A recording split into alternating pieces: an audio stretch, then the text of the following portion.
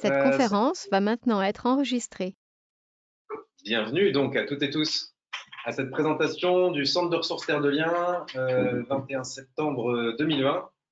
Euh, nouveau site internet qui est, fait partie de la galaxie des sites, euh, des sites Terre de Liens et, qui, qui, et que l'on est très content et heureux de vous présenter aujourd'hui. C'est le fruit d'un travail de, de plusieurs années, euh, trois grosses années on va dire, même si euh, l'intention du départ était même euh, beaucoup plus vieille que ça.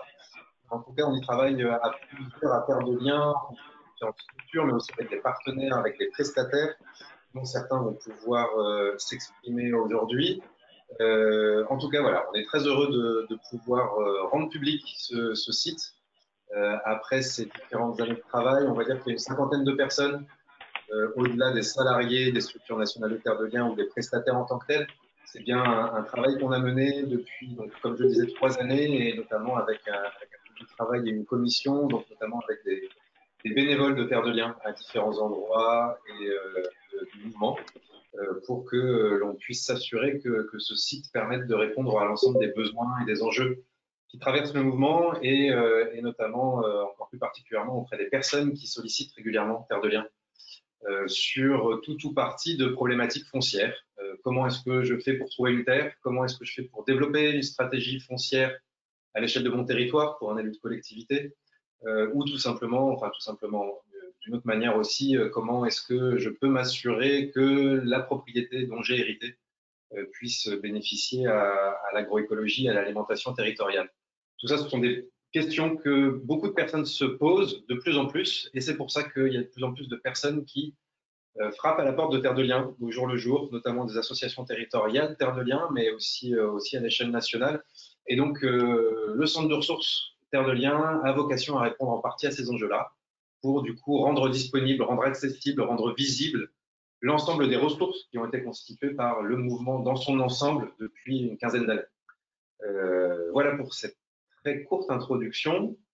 Euh, du coup, cette webconférence, comme je le disais, avec les quelques personnes qui étaient là euh, avant, avant l'heure prévue, avant, le, avant le, tout début du lancement, euh, on va écouter deux, deux, deux personnes que l'on voit ici à l'écran, qui sont Colline Perrin, qui est une des partenaires euh, de Terre de Liens et plus particulièrement du centre de ressources et encore plus particulièrement d'une partie du centre de ressources qui s'appelle Récolte, on mentionnera rapidement, mais qui nous parlera notamment de comment, euh, comment est-ce que la rencontre s'est faite avec Terre de Liens et comment est-ce qu'on a pu euh, euh, s'associer du coup pour, pour, euh, pour organiser ensemble la production de nouvelles ressources autour des initiatives foncières territoriales, qui est une des euh, sollicitations récurrentes qui arrive à Terre de Liens. Euh, et puis, on va commencer par euh, une intervention de David Chomentowski qui nous fait la, joie de nous, proposer une, petite lecture avec un pas de côté, on va dire. Euh, donc, David, il, il, travaille à Cap Rural. Je ne sais pas si l'ensemble des participants connaissent, mais c'est un centre de ressources sur le développement rural, on va dire, à l'échelle Rhône-Alpes. Ils sont réseau, ruraux, ré, réseau rural pardon, régional pour Auvergne-Rhône-Alpes maintenant. Euh, et ils ont une grande expérience en tant que centre de ressources euh, Cap Rural. Avant, s'appelait Centre de ressources pour le développement rural. On le dira probablement. Et donc, du coup, ils ont une expertise, une expérience autour de qu'est-ce que ça veut dire une information, en quoi c'est important de capitaliser, de digérer et de rendre, euh, de réussir à, mettre à disposition ces ressources euh, pour le plus grand nombre. Euh, ensuite, du coup, on bénéficie, on rentrera dans le dur, entre guillemets, et donc, du coup, Thibaut Rochette, ici présent, euh, nous présentera en tant que tel le centre de ressources, de manière euh, succincte, rapide. Vous aurez de toute façon le loisir, le, tout le loisir à, rentrer dans ce, dans ce site à partir de ce soir. Et on est bien, c'est important de le dire, mais c'est une étape très importante. On est très fiers de vous pré présenter tout ça et de vous proposer ce nouveau, ce nouveau site, ce nouvel outil ce n'est qu'une étape et c'est que le début finalement d'une nouvelle aventure pour euh, continuer à alimenter ce centre de ressources et à en faire un, un commun, comme on l'a prévu, conçu, imaginé en tout cas.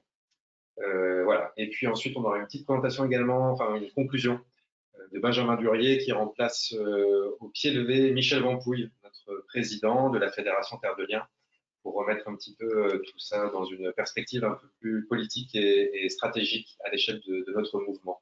Puis on laissera bien sûr un temps d'échange euh, entre nous si vous avez des questions ou des remarques. Euh, voilà, bienvenue encore une fois à toutes et tous. Et du coup, je laisse la parole à David euh, pour Cap Rural euh, sur l'importance des ressources et leur utilité dans un réseau. Merci euh, donc bonjour à tous, je suis David Chomantowski, chargé de mission veille et communication à Cap Rural depuis 2013 et je suis basé à Die dans la Drôme. Euh, donc, au regard de euh, l'intérêt de votre réunion aujourd'hui, là pour ce lancement d'un centre de ressources, euh, mon intervention ça va être un témoignage très bref, comme le disait Damien. Peut-être je l'ai un peu redirigé vers d'autres choses, mais sur la, question de centre de ressources. Qu'est-ce que c'est une ressource pour nous à Cap Rural? Et avec un, focus un peu sur l'information, en effet, quelle est, quelle est la place d'une information euh, notamment quand elle devient ressource dans notre organisation? Alors, comme nous rappelait Damien au départ, euh, Cap Rural a porté plusieurs noms depuis sa création. Et au départ, en 96, on s'appelait euh, le centre, je suis obligé de lire parce que j'étais pas là à ce moment-là, le Centre régional de ressources du développement rural. Donc, être un centre de ressources, ça a été et ça reste aujourd'hui notre objet, donc depuis 25 ans. Euh, je rappelle juste qu'on a été créé euh, en 96 à l'initiative de l'État et de la région Rhône-Alpes, à, ce moment-là Rhône-Alpes. Aujourd'hui, on est 12 salariés répartis dans quatre sites différents en Auvergne-Rhône-Alpes, avec chacun une expertise différente, les coopérations, les financements, l'innovation. Moi, je m'occupe de la veille et de la communication. Euh, donc, on a un objet dans le centre de ressources, c'est le développement local en milieu rural. On a un périmètre d'action, c'est Auvergne-Rhône-Alpes. Donc c'était Rhône-Alpes à l'origine et maintenant Auvergne-Rhône-Alpes.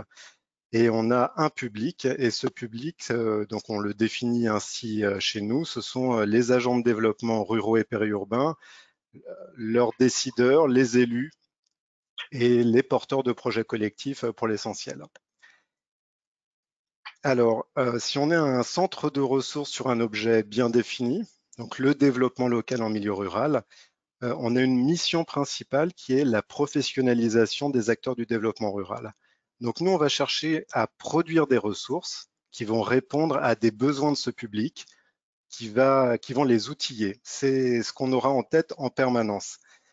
Euh, ça nécessite quelque chose également en permanence, euh, de réussir au sein de notre organisation, donc dans notre collectif de travail, à repérer et à collecter ces besoins en permanence. C'est une mission euh, de veille en permanence pour pouvoir produire les ressources qui vont correspondre à ces besoins.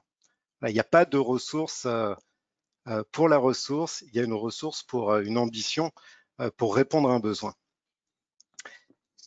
Et évidemment, il y a la production de ressources, mais il y a aussi la mise à disposition, c'est-à-dire la capacité à communiquer dessus, à les valoriser, à les rendre lisibles, accessibles ça peut pas être euh, voilà, mis de côté. Alors ces ressources, chez nous, elles sont de nature différente. On va tout appeler ressources. Elles peuvent être par exemple euh, un document, une documentation écrite, par exemple un, un, guide méthodologique. Ça peut être une session collective. On va appeler ça aussi une ressource. Par exemple une formation. Ça peut être un appui méthodologique, ça peut être une revue de presse, ça peut être un site internet, ça va être toutes les actions qu'on décline dans notre, offre, de service. Et donc, toute action va toujours passer par euh, le tamis suivant. Est-ce que l'action, la ressource qu'on propose, elle répond à un besoin du public, que ce besoin soit exprimé par le public, ou bien que nous, on l'ait identifié sans qu'il ait été déjà exprimé par le public? Et est-ce que cette ressource, elle va permettre à notre public de l'outiller pour la, réalisation de projets de développement local en milieu rural, en Auvergne-Rhône-Alpes? Euh, alors j'ajoute un point. Euh, on est tellement en centre de ressources, on intègre tellement la question de euh, la production de ressources qu'on va même parfois nous-mêmes hein, se considérer comme des ressources. C'est-à-dire que nous-mêmes, en tant que chargés de mission, on, est des services, on est des ressources mobilisables par notre public. Et c'est lié aussi parce qu'on est une mission de service public. Donc voilà, je, je recontextualise ça. Alors, si je prends maintenant la mission que j'anime, qui est une mission donc de veille et de, euh, et de communication, c'est un poste qui a été créé à Cap Rural dès l'origine en 96. Il y a eu un premier recrutement et tout de suite le second recrutement, ça a été euh, sur l'idée qui est toujours la même aujourd'hui, même si les conditions d'accès aux informations euh, ne sont plus les mêmes, à savoir il y a besoin euh, d'une compétence, d'une expertise pour repérer des informations utiles, opérationnelles pour le public et les rendre disponibles pour les acteurs du terrain. Donc plusieurs services ont été créés au fil des années, un service questions-réponses, des lettres de veille, des dossiers thématiques, un site internet les, services continuent à être explorés et on, cherche à en créer de nouveaux.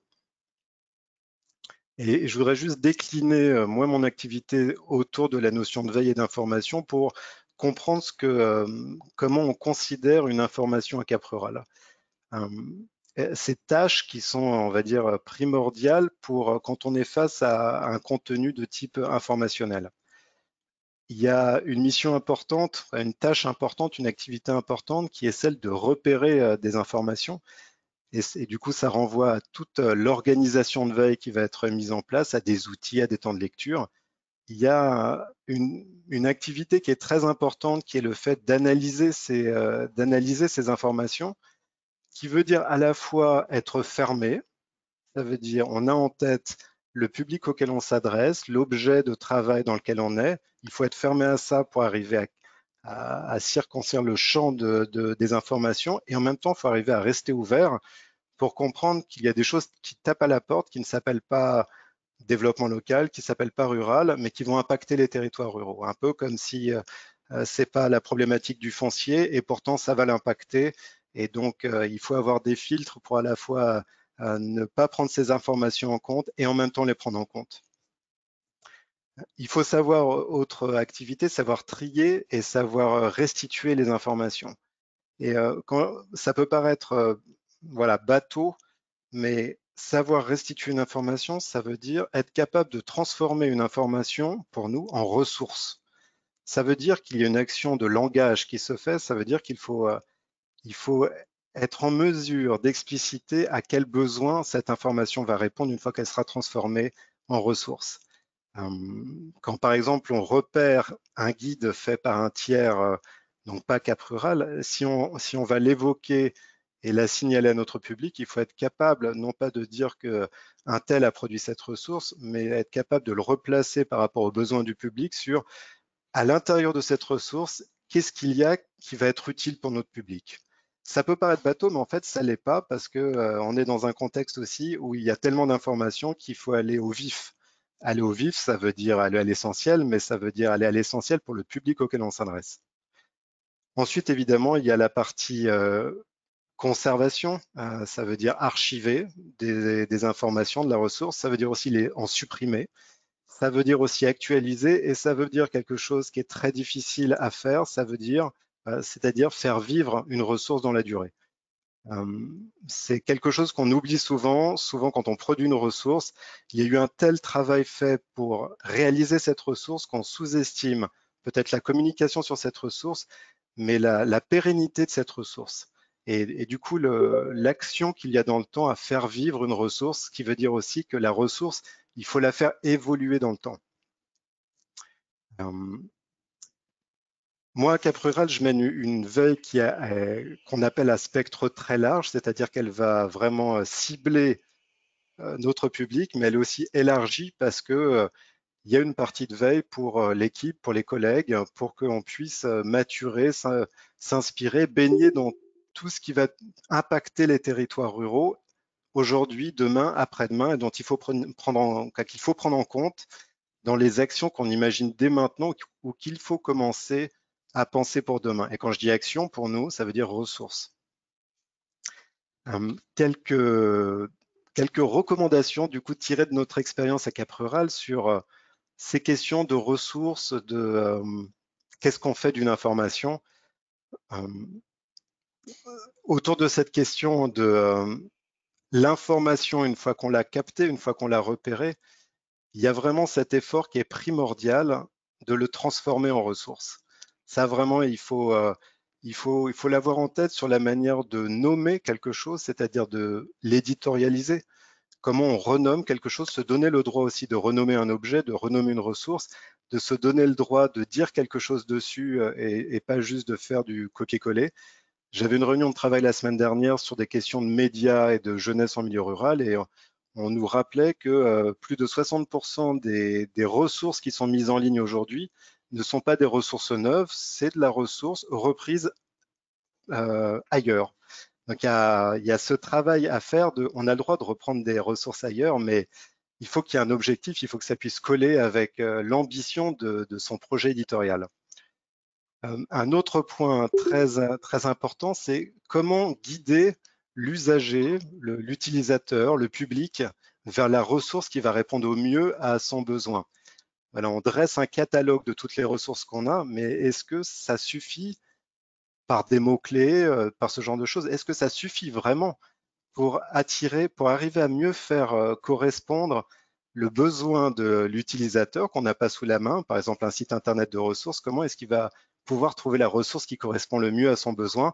C'est un enjeu qu'il faut avoir euh, en permanence en tête. Ça veut dire aussi renommer en permanence des choses sur son site. C'est un travail voilà, de, de, longue haleine. Même quand on met en, site, on met en ligne un site, dès, dès l'heure d'après, il faut retravailler et renommer. Hum, et puis, je parlais de euh, comment on fait vivre une ressource dans le temps.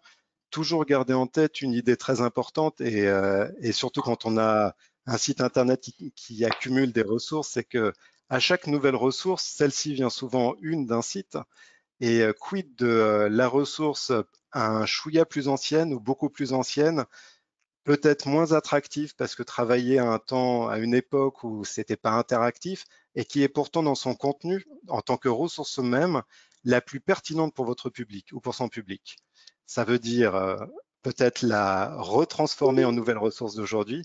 Ça veut peut-être dire aussi euh, faire la guerre à la nouveauté. Voilà, des les conseils que je donne, ça ne veut pas dire qu'on les applique au mieux, hein, mais en tout cas, c'est des choses qu'on a en tête et, on, essaie de travailler avec ça.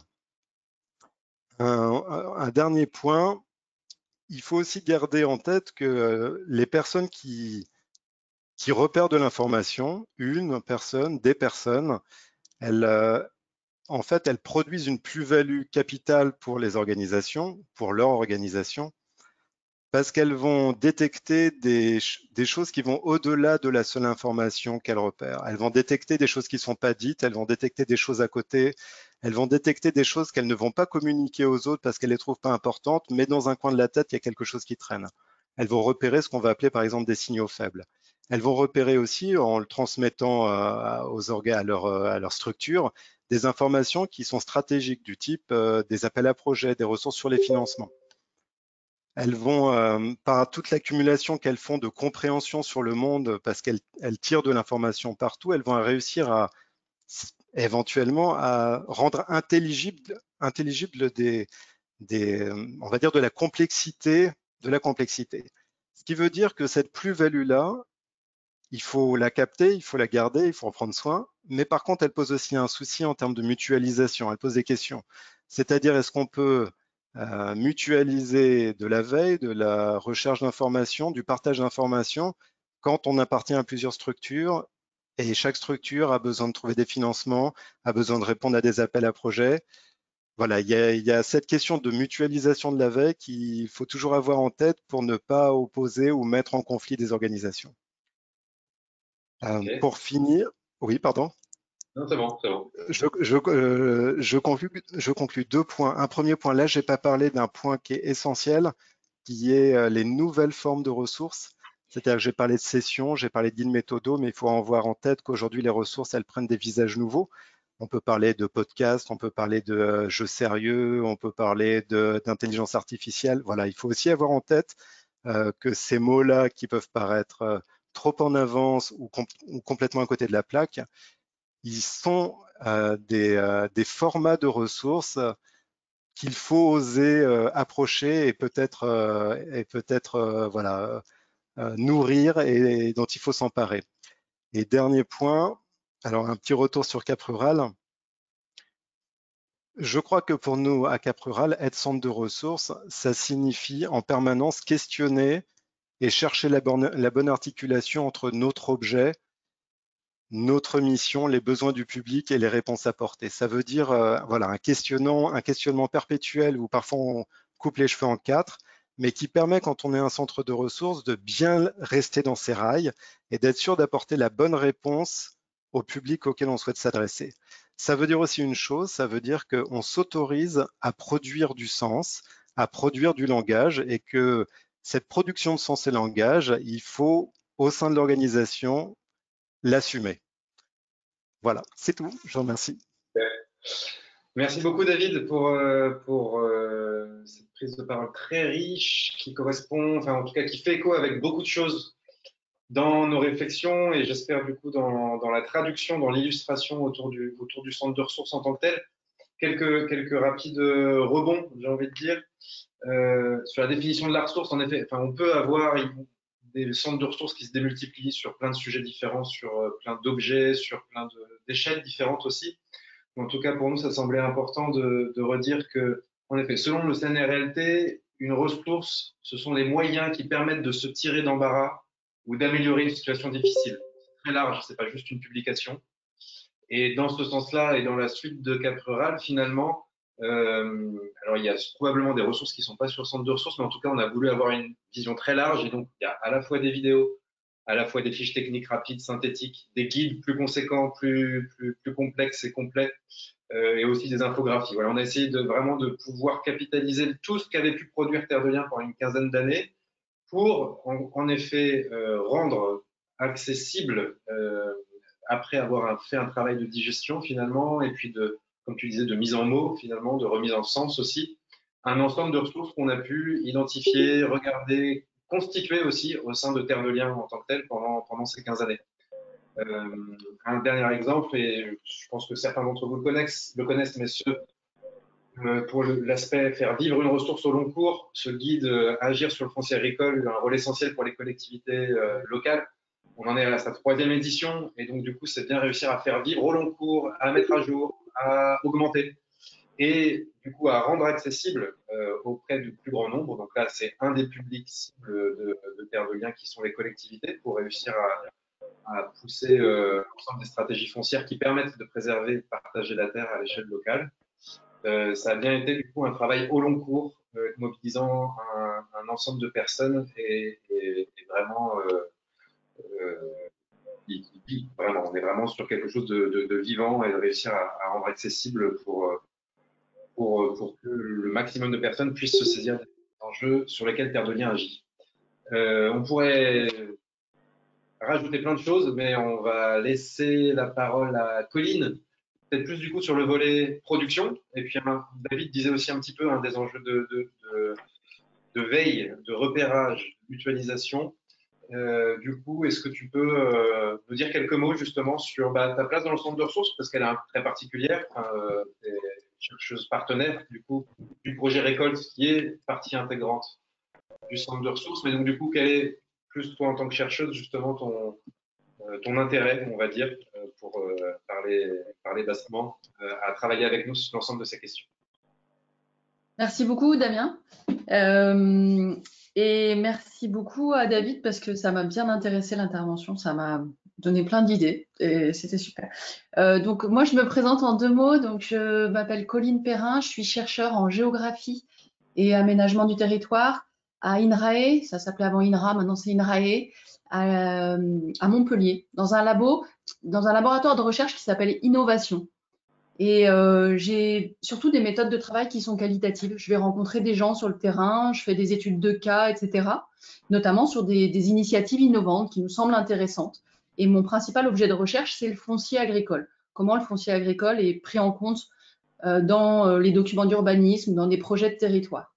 Et euh, une question qui se pose euh, tous les jours pour nous euh, dans mon laboratoire de recherche innovation, c'est comment on passe de l'étude qualitative de beaucoup de petites initiatives locales à ben, des enseignements pour l'action publique, pour la science en général. Comment on monte en généralité sur les résultats pour dire quelque chose valide qui parle à tous. Et euh, du coup, dans le cadre d'un projet de recherche que je coordonnais sur la question de la préservation du foncier agricole périurbain, je me suis dit que j'allais euh, identifier euh, euh, beaucoup d'initiatives foncières locales euh, pour pouvoir les comparer, que ça passait par la comparaison. Et c'est à ce moment-là, en 2016, que j'ai rencontré Valérie Pomette, Terre de Liens, qui m'a dit qu'elle avait un peu un objectif similaire à l'échelle du Languedoc-Roussillon à l'époque, de recenser l'ensemble des initiatives foncières portées par les collectivités locales et qui pouvaient intéresser les collectivités locales. Et du coup, là, il nous a semblé qu'on avait intérêt à travailler ensemble pour mettre en commun, pour capitaliser des informations, des ressources sur euh, les projets portés par les collectivités locales ou euh, sur le foncier agricole. Et du coup, à partir de 2017, euh, on a mis en commun les informations qu'on avait euh, il y avait déjà le guide Agir qui existait, mais donc c'était l'objectif d'aller, euh, de, pouvoir actualiser les projets, de pouvoir en ajouter, que ce soit plus interactif. Et là est venue l'idée euh, de construire ensemble un bout du centre de ressources qui s'appelle Récolte et qui présente des fiches synthétiques décrivant des initiatives portées par des collectivités locales ou qui peuvent intéresser des collectivités locales sur euh, le foncier agricole, préserver le foncier, installer des agriculteurs. Euh, voilà. Donc l'intérêt pour moi de travailler avec euh, Terre de Liens, c'est d'abord de mettre en commun de la ressource, je dirais. de la ressource issue du mouvement Terre de Liens sur ces initiatives portées par les collectivités, et puis d'apporter de la ressource qui venait du côté de la recherche. C'est de réfléchir aussi ensemble sur la meilleure manière de faire passer cette ressource euh, pour euh, le public, c'est-à-dire bah, comment on va la, la mettre en forme, euh, de quoi a besoin l'usager en termes de mots-clés pour s'y retrouver, etc. Donc il y a eu tout un travail méthodo depuis 2017 pour réfléchir à comment on va présenter tout ça. Et puis, bah, c'est un projet, c'est pas, pour moi, c'est pas juste une plateforme web qui liste comme, comme un guide, un, c'est pas juste de la capitalisation d'expérience pour moi, euh, cette, plateforme web, c'est un outil pour mettre tout le monde autour de la table, pour faire du lien entre les acteurs, pour euh, que euh, on demande aux internautes de remplir des fiches, de signaler des informations qui, ensuite vont pouvoir être transformées en fiches, donc transformées en ressources produites avec eux. Mais au-delà du site web, à travers les newsletters, à travers des séminaires qu'on va organiser autour de ce volet récolte, c'est bien l'idée de mettre autour de la table des chercheurs, des citoyens euh, des acteurs publics, des collectivités, pour euh, réfléchir ensemble euh, sur les objectifs du projet, la manière dont nous, du côté de la recherche, on va pouvoir comparer les expériences, produire des résultats de recherche. Donc c'est aussi, ça veut dire que je m'engage aussi au moins une fois par an à vous présenter bah, ce que je peux raconter en termes de recherche à partir de la base de données qui va être sur le, sur le, site du centre de ressources sur l'onglet récolte à partir de ces initiatives que moi, je vais comparer avec différentes méthodologies de recherche. Comment on partage ensemble cette information, comment on construit aussi euh, des connaissances, l'identification de freins et de leviers pour accompagner l'action publique. Comment on en tire ensemble des enseignements. Voilà, euh, peut-être ça suffit? Euh. Super, très bien. Merci Colline beaucoup pour, pour, cette intervention. Je rebondis juste sur deux, trois éléments de, de ta prise de parole, euh, qui font bien écho aussi avec ce que disait euh, tout à l'heure David. Finalement, en tout cas, ce centre de ressources, voilà, il a vraiment euh, vocation aussi à être une passerelle, mais en tout cas être, tu l'as bien dit, mise en commun. Donc, on, certes, il y a plein de choses qui ont été constituées, des expertises qui ont été identifiées, capitalisées, consolidées au long cours par Terre de Liens. Mais Terre de Liens, c'est pas seul, la seule organisation qui travaille sur le foncier agricole et sur l'ensemble des, sujets, des enjeux qui tourne autour de, cette problématique-là. C'est un peu ce que disait aussi tout à l'heure David, hein, réussir à identifier quel est l'objet en tant que tel, mais rester ouvert, donc de la frontière, mais, quand même de, l'ouverture. Euh, donc voilà, euh, le centre de ressources terre il a vraiment vocation euh, aussi à, ça, c'est-à-dire mettre en commun pour développer, la, développer des puissances d'agir de toutes les personnes qui s'intéressent à ces sujets. Et donc pour ça, c'est réussir à se mettre ensemble autour de la table, à la fois pour consolider, constituer de nouvelles expertises, mais aussi les rendre accessibles à d'autres, que ce soit des productions terre de lien en propre, des productions par des partenaires ou des coproductions, comme le seront du coup l'ensemble de ces fiches euh, initiatives de la plateforme Récolte. Je ne rentre pas plus dans le détail là-dessus, et puis on va rentrer dans le vif du sujet, pour le coup, même si on était déjà pas mal dedans, euh, pour vous montrer à quoi il ressemble ce centre de ressources, euh, avec du coup Thibaut, euh, Rochette, avec qui on a travaillé depuis, bah, depuis le lancement, on va dire, de cette dynamique au sein de Terre de Liens. et qui est chargé de mission installation-transmission au sein de la fédération.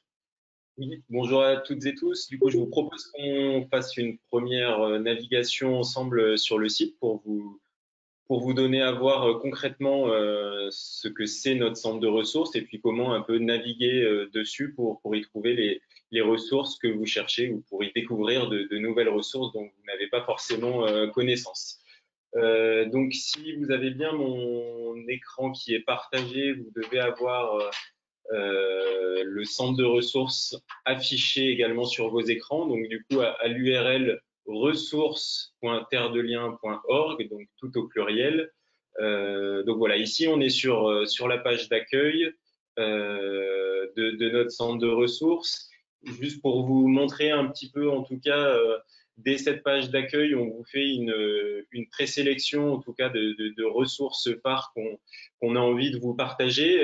Ici, c'est comme le disait David aussi, on est à la fois sur des, des ressources qui sont récentes, mais où on, ça permet aussi de revenir sur des, ressources qui n'ont pas été forcément euh, valorisées jusqu'ici, qui, ont une, valeur ajoutée à être partagées euh, sur le, centre de ressources. Donc voilà, avec euh, quelques sélections de, de production Terre de Liens. Donc là, on voit que c'est des, ressources, on va dire, individuelles. Dans ce travail d'éditorialisation, on a aussi fait le choix d'agréger des ressources entre elles pour constituer des dossiers. Euh, dans l'idée de se dire que assembler euh, ensemble un ensemble de ressources peuvent répondre à des besoins spécifiques de, publics cibles euh, auxquels s'adresse Terre de Liens. Donc, si on prend un exemple concret pour les 2000 porteurs de projets que nous accompagnons chaque année, et notamment pour des candidats à l'installation, on a produit un ensemble de ressources, que ce soit Terre de Liens ou des partenaires d'impact, pour répondre à ces personnes-là et qui, euh, assemblés ensemble, ces, ces, ressources peuvent permettre de, trouver plus facilement des, réponses pour ces candidats à l'installation. Euh, donc ça, ce, ce, ces choix éditoriaux, ils se retrouvent euh, ici sur notre page d'accueil et sur ces, deux boutons euh, en haut à droite. Donc à la fois avec un contenu vraiment ciblé à destination des, des porteurs de projets, où on met derrière à la fois des candidats à l'installation, mais aussi des, des cédants et des, propriétaires de, biens agricoles, mais euh, aussi bah, par, rapport, euh, par rapport au projet également que, que, présentait Colline euh, donc plus euh, notre public cible territoire et collectivité. Donc si je me rends par exemple sur l'onglet porteur de, projet, si je me mets dans, dans la peau d'un porteur de projet, ici on a une sélection de, de, ressources pour ces personnes-là avec euh, à chaque fois euh, des, ressources qui sont produites par Terre de Liens, mais pas seulement, et avec l'idée d'une progressivité dans, dans, les ressources qui sont proposées à ces cibles-là. Euh, si, je mets un peu plus de, concret euh, dans ce que je dis, on a par exemple édité un guide qui s'appelle Trouver une terre pour mon projet agricole, qui fait plus d'une centaine de pages, donc qui n'est pas forcément aussi évident à y rentrer dedans. Et là, l'idée, c'est aussi bah, de, pouvoir le, le, scinder, euh, de, l'éditorialiser pour justement avoir des, contenus qui arrivent progressivement, euh, par exemple pour un, candidat en recherche de terre. Donc voilà, si je me mets dans, l'impôt d'un porteur de projet qui est euh, effectivement dans, cette démarche-là, euh, on propose ce dossier-là. Et euh, donc quand je clique dessus et que j'arrive sur ce dossier, euh, ça permet à la fois bah, de, rendre, visible, par exemple, cette production phare que j'évoquais, donc le guide produit par Terre de Liens. Donc, lorsque je clique sur ce guide, ça m'amène sur la page de cette ressource. Donc là, ça mouline un petit peu avec la connexion, euh, ce qui me permet ici de, retrouver euh, un peu un, résumé de ce que je vais trouver dans, cette publication, pouvoir la télécharger gratuitement euh, au format PDF, mais aussi alors la petite spécificité pour ces guides, euh, pour ces guides Terre de Liens, de pouvoir les, commander en version euh, papier. On voit aussi que au-delà du, du, résumé de la ressource, sur la droite, on a un, un ensemble de, de filtres de, de, recherche et de caractérisation de cette recherche. Donc, de quel type de ressources on parle? Est-ce qu'on parle d'un guide, d'une vidéo, d'une infographie? Euh, quels sont les, les, auteurs de cette production, puisqu'il y a aussi un enjeu à, à, travers ce centre de ressources, bah, de, de, de, valoriser, de rendre visible qui, qui sont les, les, les, producteurs de cette ressource et souvent bah, montrer l'ensemble des, des, parties prenantes et des acteurs qui rentrent en compte pour, pour arriver à la production d'une ressource, qui est l'éditeur, et puis aussi un ensemble de thèmes euh, qui, qui, vous sont euh, proposés euh, ici. Donc, par exemple, là, on voit qu'on est vraiment sur un guide à destination des candidats à l'installation. On est sur le thème de l'installation, et ce qui me permet de voir si je cherche, par exemple, uniquement des guides ou pour voir quelles sont les différentes ressources produites par Terre de Liens, je peux, par exemple, donc cliquer sur ce bouton Terre de Liens, ce qui va me permettre de, de sortir ici les, différentes ressources euh, qui, ont été produites par notre association euh, jusqu'ici. Euh, donc c'est la même logique si, j'avais cliqué si cliqué sur la, ressource d'un partenaire, par exemple, là ici, on voit qu'on a une publication impact, donc ce qui me permet de voir aussi d'autres acteurs qui ont participé à cette ressource et là aussi d'accéder par exemple, à toutes les ressources qui ont été produites par, euh, par Impact, donc cette euh, organisation de, de districture au niveau national du développement agricole et rural, et d'avoir en un coup d'œil l'ensemble de ces ressources-là.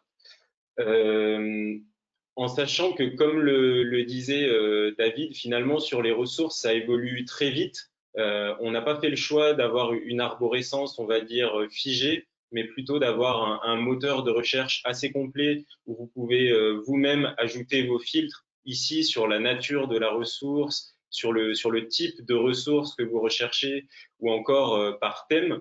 Mais euh, malgré tous ces filtres, on se rend compte que le, plus efficace aussi pour rechercher, c'est le moteur de recherche qui s'affiche toujours ici, lorsque notamment vous connaissez une ressource et que vous cherchez précisément un guide, par exemple donc qui vous permettra de retrouver facilement euh, la ressource, puisqu'il s'agit bien de, ça euh, dans ce centre de ressources et trouver facilement euh, l'ensemble de, ces ressources.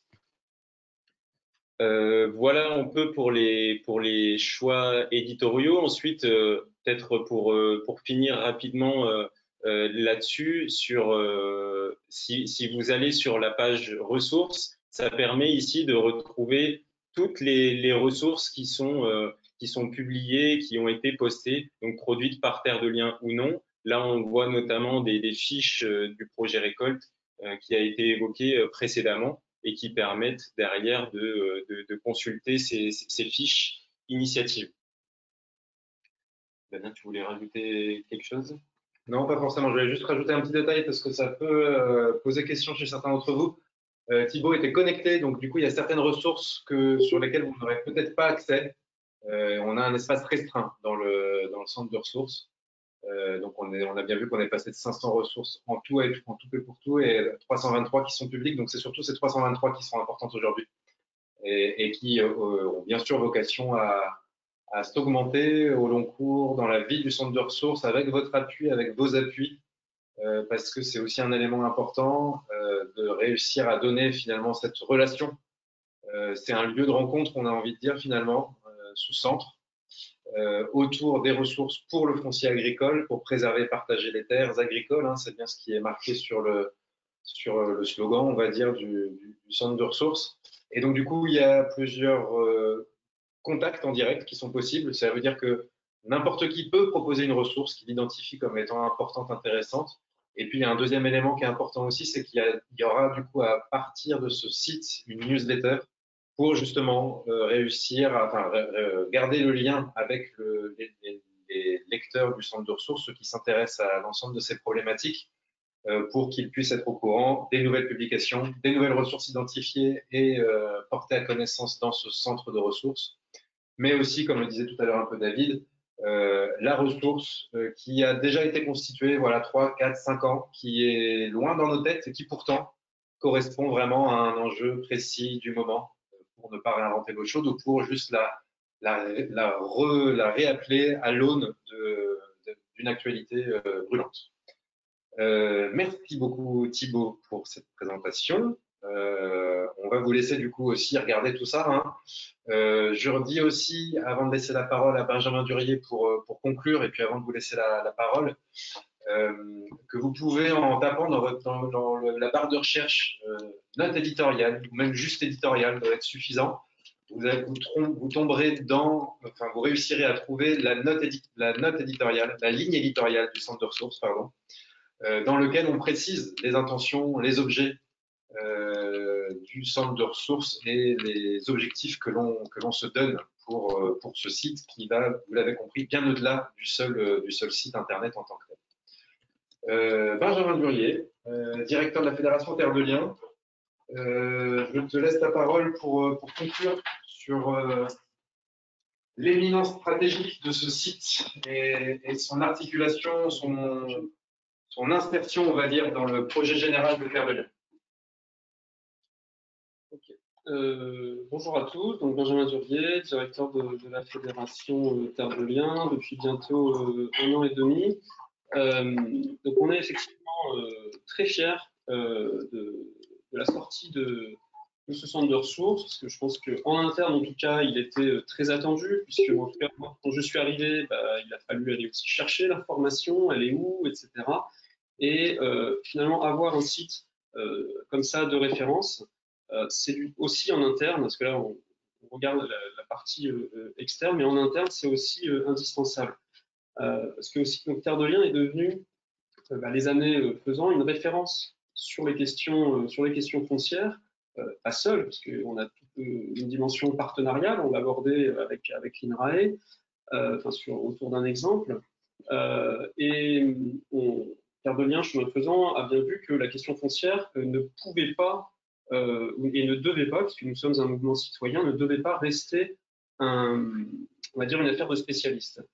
Euh, et donc pouvoir diffuser de la ressource, la mettre à disposition, la, la, mettre sous un format euh, accessible, c'est quelque chose qui est éminemment important dans notre euh, vocation dans notre façon de faire d'éducation populaire. Euh, parce qu'aujourd'hui, l'enjeu principal, je ne vais pas rappeler les enjeux du contexte autour de la question du renouvellement générationnel, euh, de l'artificialisation des sols, etc., que ici on connaît tous. par contre, l'enjeu principal, c'était d'embarquer un maximum de citoyens euh, dans la compréhension de ces mécanismes euh, et pour pouvoir bah, se dire qu'on peut agir. Et avant d'agir, il faut réussir à, être convaincu autour d'ici, autour de, on va dire de cette visioconférence. On a, on, a, a priori des gens convaincus, euh, mais si chacun se pose la question de qu'est-ce qui à un moment donné nous a convaincus, ça peut être une rencontre, ça peut être des lectures, etc. Et donc là, avec un centre de ressources, on souhaite pouvoir euh, mettre ça euh, à disposition du public. Et comme disait David de Cap Rural, eh ben, c'est le foncier au sens large. C'est-à-dire qu'il y a des personnes qui vont avoir une entrée plus alimentaire, et en creusant le sujet alimentaire, ils vont peut-être arriver derrière au foncier. Donc c'est pas donc encore une fois réserver la question foncière dans, un sens réduit. Après, euh, ce centre de ressources, il est aussi à l'image de notre fonctionnement euh, à Terre de Liens, euh, c'est-à-dire qu'aujourd'hui, vous voyez en visage Damien et, Thibault, mais derrière, il y, a, tout un groupe de personnes qui sont dans les territoires, dans les associations de Terre de Liens, qui, cherchent aussi à planifier la production de ressources en fonction des besoins qu'on peut avoir, qu'on peut identifier dans nos chantiers principaux qu'on peut porter. Euh, autre, élément, c'est que ce centre de ressources, on, le connecte euh, justement avec nos autres, nos autres services. Donc, par exemple, le, centre de formation, euh, on, il est, c'est évidemment connecté. C'est-à-dire que lire une ressource, c'est très bien, mais pour se l'approprier, venir en formation et donc faire devenir un catalogue de formation, etc., c'est quelque chose qui participe donc de la compréhension des, enjeux, des sujets, et encore une fois, pour passer à l'action. Euh, c'est aussi pour nous une, vitrine ou au moins euh, un, espace pour donner de l'écho euh, à nos positions, à nos convictions sur les questions agricoles et alimentaires en France. Et on, est aussi ravis de se faire, on va dire, caisse de résonance pour les positions d'autres structures qui ont déjà écrit. On ne cherche pas à, réinventer en permanence. Et ça, c'est quelque chose que le centre de ressources nous permet.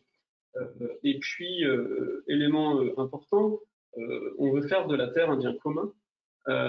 et bah, d'une certaine manière, on veut aussi rendre la ressource commune au sens d'accessible. Et c'est pour ça que toutes les ressources numériques, en tout cas quand elles nous appartiennent, quand on les produit, elles sont gratuites.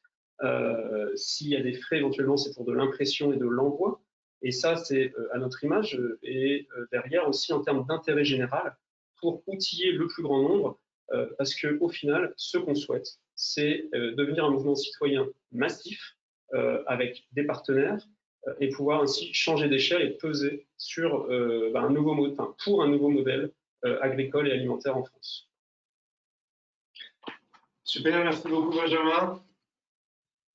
Euh, pour justement euh, repartir sur ce que tu viens de nous, amener, euh, ce que l'on marque notamment dans, cette fameuse ligne éditoriale du Centre de ressources Terre de Liens, que je vais citer en partie, qui va bien au-delà bien sûr, mais on dit, on y dit, donc je vois aussi Brigitte Rosoy qui, qui, nous a suivis et qui a porté aussi ce centre de ressources depuis, depuis le début en tant que bénévole et en tant que membre du bureau Terre de Liens Fédération.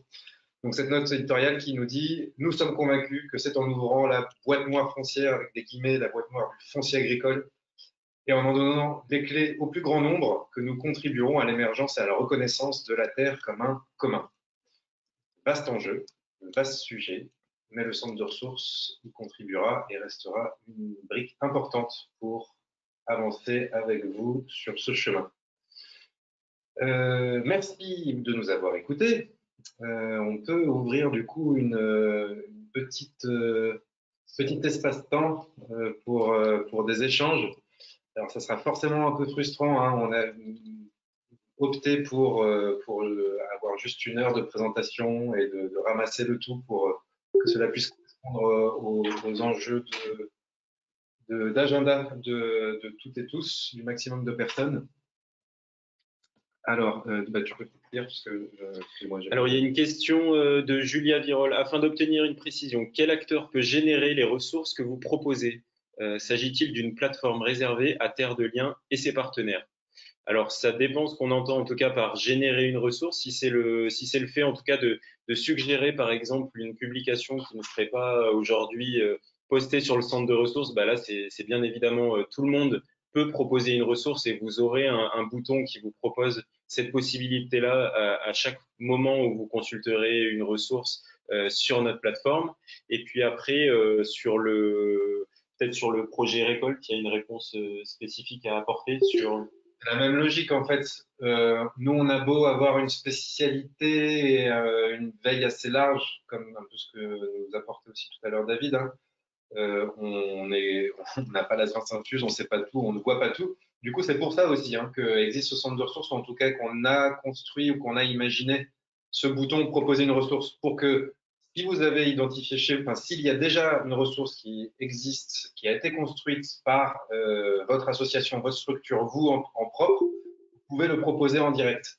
Après, on laisse la possibilité de faire le tri. C'est aussi ce que disait David tout à l'heure. Hein. Le tri, la digestion, c'est super important pour qu'elle puisse arriver à la bonne personne et qu'elle soit utile. Euh, mais donc, du coup, c'est totalement possible et, ouvert. Euh, donc, bienvenue à ce titre-là. Il y a ce, du coup ce, ce formulaire, c'est le meilleur moyen parce que ça permet de garder une trace et puis d'avoir déjà quelques éléments. Sinon, il y a une, autre possibilité aussi. Il y a une adresse qui s'appelle ressources at terre de lien, ressources au pluriel, euh, qui permet aussi de, de pouvoir entrer en, relation avec. Mais donc, du coup, oui, bien sûr, Terre de Lien, c'est, enfin, le recentre de ressources Terre de Lien, c'est d'abord, enfin d'abord, en bonne partie pour valoriser les expertises et l'ensemble des ressources qu'on a pu capitaliser, constituer, mais on n'est pas les seuls, donc, euh, euh, tout le monde est bienvenu.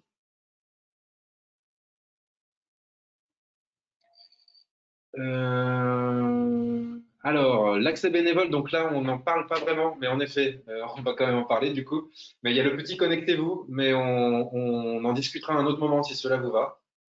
Euh, ça sera le plus simple, honnêtement, je pense. Mais en tout cas, oui, il y a bien, euh, comme le disait Benjamin tout à l'heure, euh, une brique de l'ensemble de ce centre de ressources qui est dédié à l'interne Liens, mais donc là, c'est autre chose que notre, conférence de cet après-midi.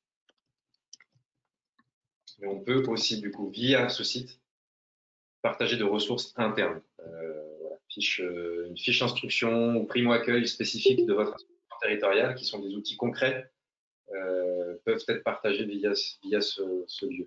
ce sera un, enjeu très important, mais qui est un peu limité à l'interne. Donc, je vous propose qu'on ne rentre pas forcément dans ce détail-là. Euh, Est-ce qu'il y a d'autres envies de, rebond, de prise de parole au-delà du, clavier? C'est le moment là d'ouvrir vos micros si jamais vous voulez causer, en fait. Si je, si je vais un peu plus loin dans la possibilité qui est ouverte. Bah, moi, je veux bien prendre la parole, si vous le permettez.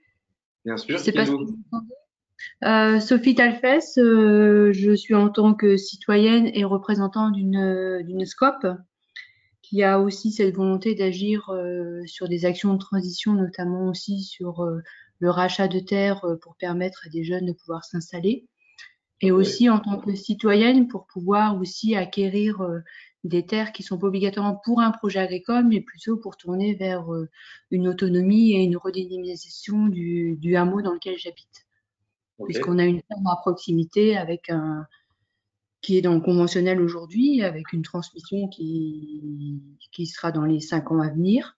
Et je voulais voilà savoir si en fait ce centre de ressources ou euh, comment on peut effectivement euh, trouver les infos, un accompagnement sur euh, sur un projet euh, en tant que citoyen ou entreprise quoi. Parce que donc du coup, euh, comment est-ce qu'on fait pour trouver des ressources? Ben, on a mis en place le centre de ressources. Donc normalement, en naviguant et en regardant, j'ai en tête quelques, quelques éléments directs, notamment il y a un dossier qui a été constitué pour appuyer justement notamment le volet propriétaire, on va dire.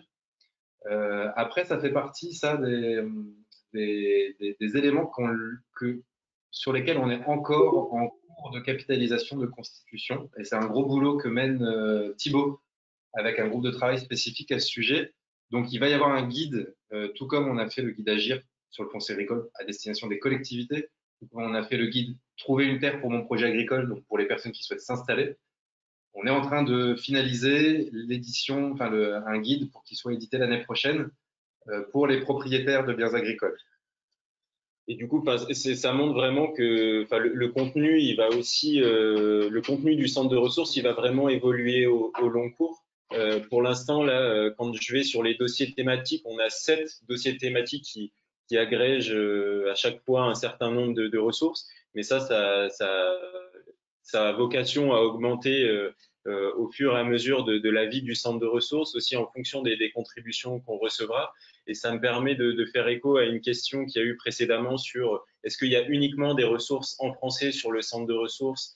Euh, donc j'ai précisé que la grande majorité des ressources seront en, français, mais par exemple, on aura euh, d'ici le mois prochain un dossier sur euh, l'accès à la terre en Europe qui permet notamment de rendre visible le travail mené dans, le cadre du réseau Access to Land, euh, où il y aura justement à la fois des ressources en français, mais aussi euh, des, ressources en anglais qui analysent certains euh, contextes fonciers européens ou des politiques foncières européennes spécifiques.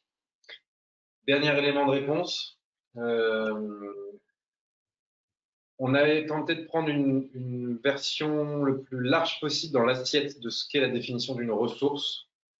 Donc, on, comme le disait Benjamin, il y a certes des documentations, des vidéos, mais aussi des structures ressources, donc des personnes qui peuvent vous accompagner sur une problématique particulière euh, qui ont été identifiées. Donc, vous pouvez regarder hein, dans les types de ressources, il y a structure ressources. Et dans, il y a des formations justement qui permettent aussi, qui sont essentielles pour réussir à répondre. Il y aura du coup la, communication aussi, euh, en tout cas en lien avec le site terre-de-liens.org, mais différents événements. Tout à l'heure, euh, Perrin nous a parlé des, séminaires récoltes qui auront lieu une fois par an, qui seront en tant que tels aussi une ressource. Et donc, dans ce cadre-là, pour votre projet, pour votre problématique, le réflexe qu'il faut avoir, en tout cas le, ce qu'on peut vous, suggérer, c'est de vous tourner vers, vers, votre association territoriale qui, euh, en direct, en proximité avec votre projet, réussira, si toutefois euh, elle, elle, a l'ensemble des ressources aussi financières, parce que c'est un aspect limitant pour les associations territoriales, mais pourra vous accompagner en direct euh, sur, euh, sur votre projet. Et du coup, c'est bien cette articulation-là aussi qui est intéressante et importante entre une forme d'autonomie, on va dire, euh, des toutes les personnes et donc de, de réussir à donner l'ensemble des euh, informations, des bonnes pratiques, des outils, des astuces euh, qu'on a compilées et qu'on a mis dans des ressources pour qu'elles soient appropriables assez facilement. Euh, mais au-delà de ça, rien n'empêche de se rencontrer, donc de solliciter son association territoriale, de venir à une formation Terre de Liens ou à l'un de nos événements pour aller au-delà de la seule, du seul papier. Entre guillemets. Hmm. je prends une question suivante qui est quel type d'informations sur le centre de ressources ne se trouverait pas dans votre livre Trouver une terre pour mon projet agricole et vice versa euh, justement, c'est que ce guide, euh, il a été édité, produit euh, par Terre de Liens notamment.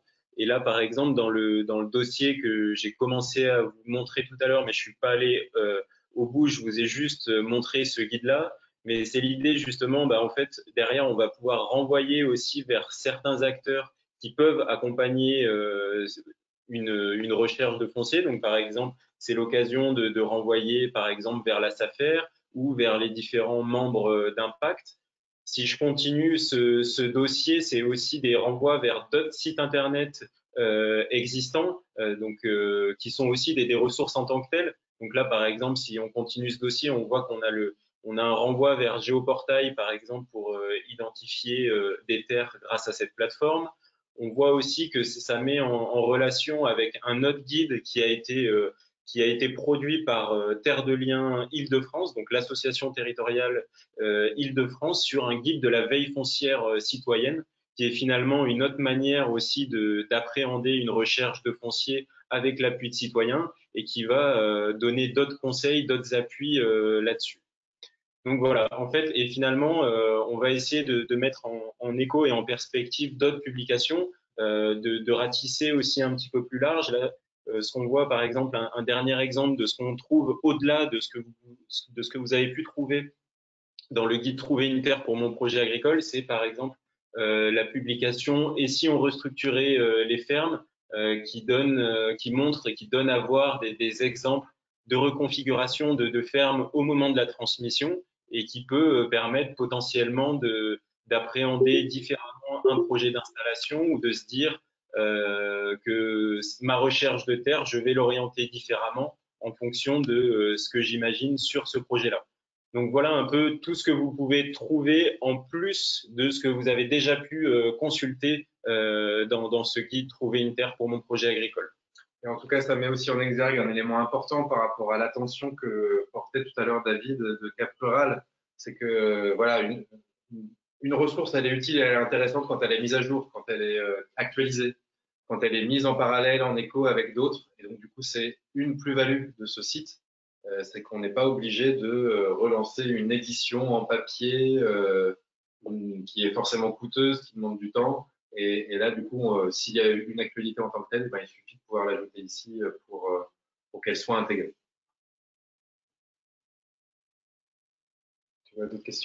Euh, Il y avait une question autour d'informations un peu plus ciblées autour de l'installation. Euh, là, l'idée, c'est euh, de, renvoyer en tout cas vers notre centre de formation.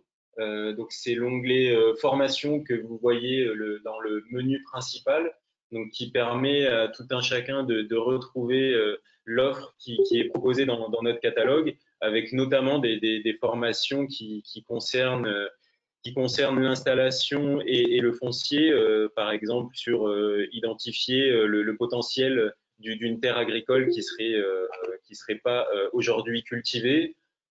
Donc voilà, c'est des exemples comme ça, à savoir qu'on va pas aller sur des informations plus ciblées sur l'installation, puisque on a des a des acteurs et des partenaires avec qui on travaille qui donnent également ces informations. Donc je pense notamment ici aux ADR, au CIVAM, au, groupement euh, bio.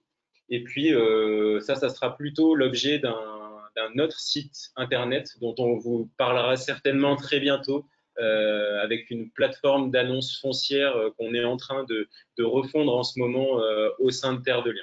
Donc on reviendra plutôt courant octobre là-dessus pour vous en parler. Oui, qui permettra notamment justement d'être mis en relation avec les personnes qui accompagnent en tant que telles les paysans, qui, les personnes qui souhaitent s'installer, les cédants ou les propriétaires, euh, des personnes physiques en tout cas en tant que telles autour, de la, autour des annonces foncières.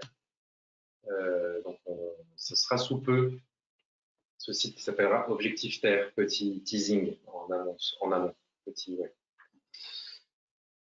Euh, Est-ce que quelqu'un d'autre souhaite euh, réagir à ce que l'on a pu balayer? Regardez pendant cette heure. ensemble.